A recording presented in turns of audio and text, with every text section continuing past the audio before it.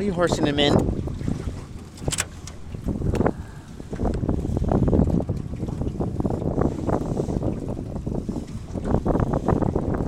Oh. you can slow down, I think, a little bit.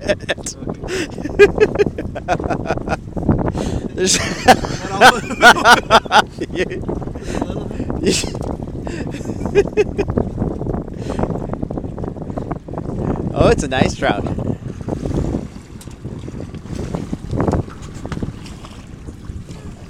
No, no. Woohoo! Good job, Mr. Steve. Off a gold Kastmaster. Any comments?